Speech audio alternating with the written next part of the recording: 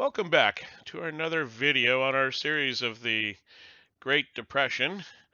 This one looks at uh, South Carolina, a beautiful little state that uh, sometimes gets overlooked in this discussion. I hope you find some value in this, and as always, thank you for your support.